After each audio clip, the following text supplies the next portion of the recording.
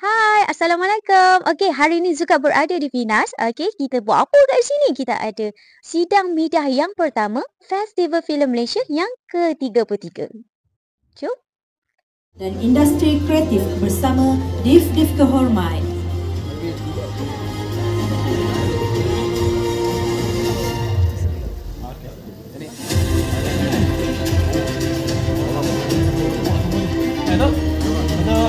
Majlis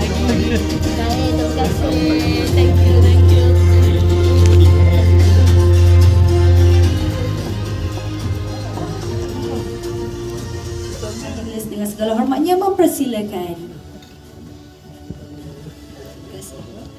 Terima kasih saya ucapkan kepada pengacara majlis pada hari ini yang berusaha Encik Ni Kamaruzaman Ni Husin, Timbalan Ketua Setiausaha Kementerian Komunikasi.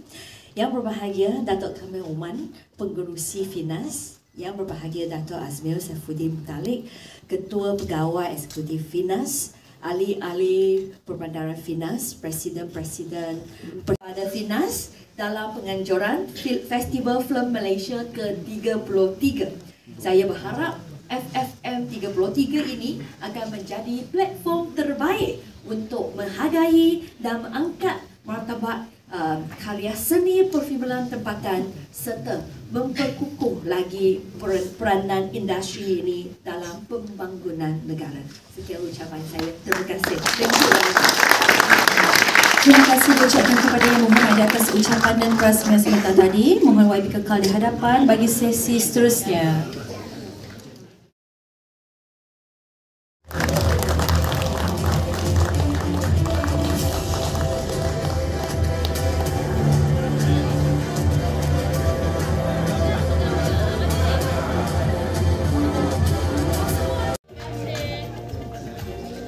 Seterusnya, untuk tidak membuang masa lagi, majlis dengan hormatnya menjemput yang berusaha Encik Ahmad Syazli Muhammad Kia.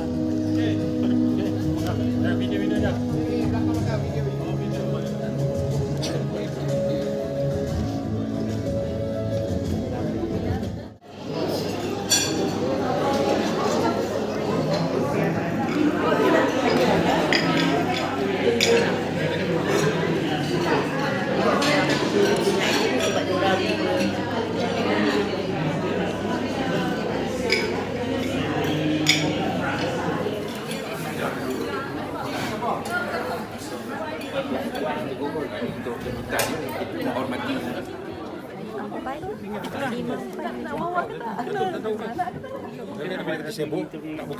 kan. Syutingan malam. Ah, saya saya tak mau cakap. Saya nak pesan macam mana. Saya boleh kata dah lama dah kita pesan benda-benda tu. Saya dia pernah dewasa. Dia dah 40 tahun. 40 tahun zaman usia 40 tahun tu usia saya main filem Maria Marina. Bayangkan. Saya pun dah tua 70 dah kan.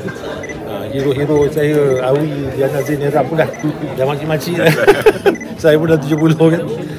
Jadi bagi saya kita serahkan pada takdir kita doa yang baik lah, kan. Ah, Tanpa melukakan hati mana-mana pihak. Baik pihak sini, baik pihak sana kan. Itu dia. Ya? Okay. Sorry Datuk, tanya. Apa dia? Tak apa, tak apa. Nama tidak eh? Ha? Apa dia nama? Okey, ini adalah tulang belakang FFM 33. Sekejap lagi kita cari presiden dia.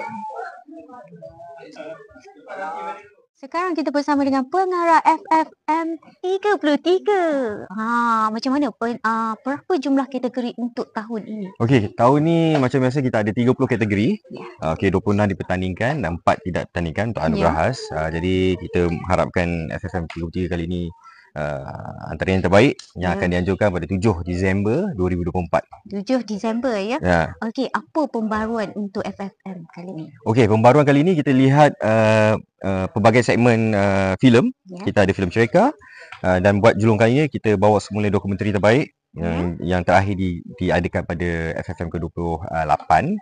Jadi kita ada filem pendek Ya. uh, dan juga ini juga kita lihat uh, meraihkan dari semua pelbagai pembikin muda dan juga yang profesional uh, untuk untuk bersaing di Festival Filem Malaysia. Ya. Apa yang sedang dipegang ni? Ini adalah uh, trofi akan dimenangi oleh semua uh, 30 uh, penerima. Ya. Ha, inilah trofinya dan juga wang tunai. Ha, wang tunai yang akan diumumkan nanti. Ha, jadi tunggu.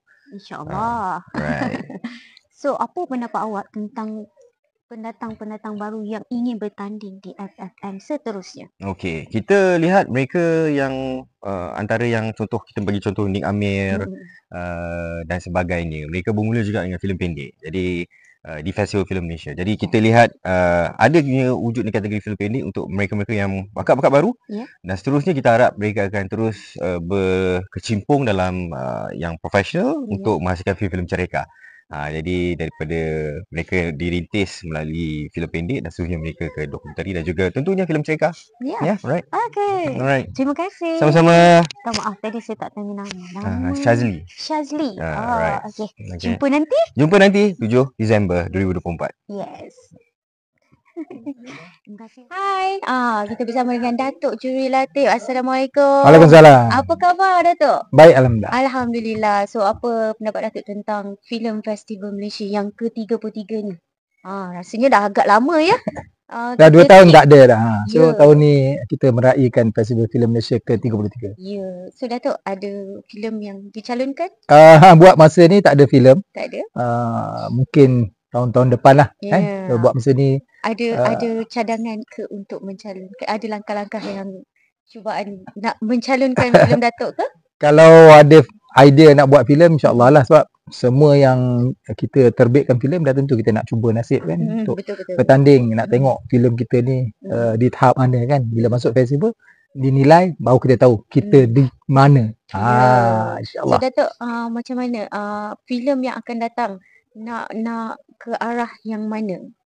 Uh, kalau tanya saya filem-filem saya sebelum ni ada filem-filem uh, patriotik eh Mm-mm. filem kenegaraan uh, sebelum tu ada filem aksi filem Ya. libas Hmm. sukan uh, sepak takraw saya ingat saya nak kembali sekali lagi dengan filem sepak takraw nantikan Right, korang nantikan.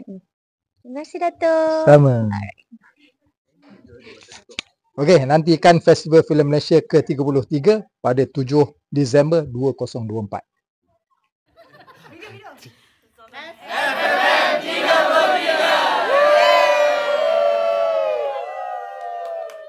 Berakhirlah sudah sidang media yang pertama FFM 33. Apa yang korang nantikan di FFM nanti?